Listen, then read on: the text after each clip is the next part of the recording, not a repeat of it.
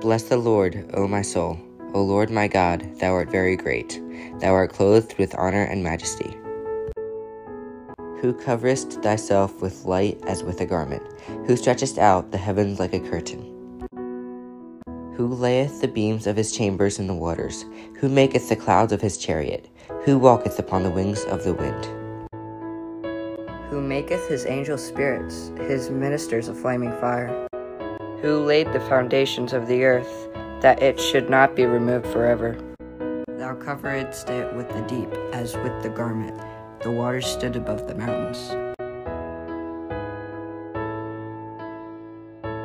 At thy rebuke they fled.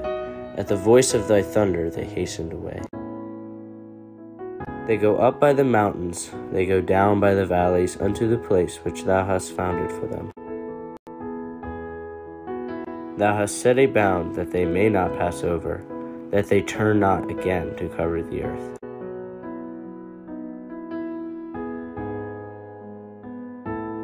He sendeth the springs into the valleys, which run among the hills. They give drink to every beast of the field, the wild asses quench their thirst. By them shall the fowls of the heaven have their habitation, which sing among the branches.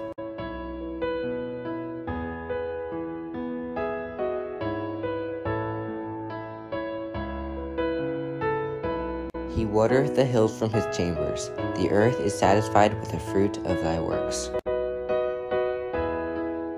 He causeth the grass to grow for the cattle, and herb for the service of man, that he may bring forth food out of the earth. And wine that maketh glad the heart of man, and oil to make his face to shine, and bread which strengtheneth man's heart.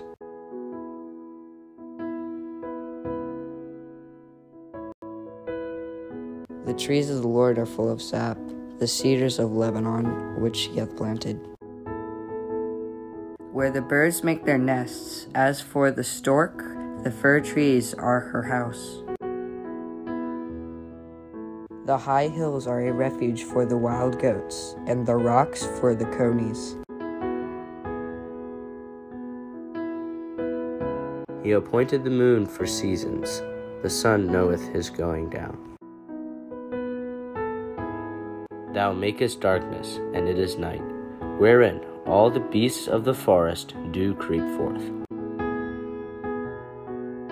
The young lions roar after their prey, and seek their meat from God.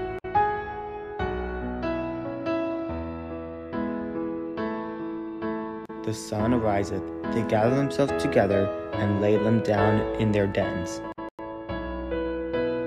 Man goeth forth unto his work, and to his labor until the evening.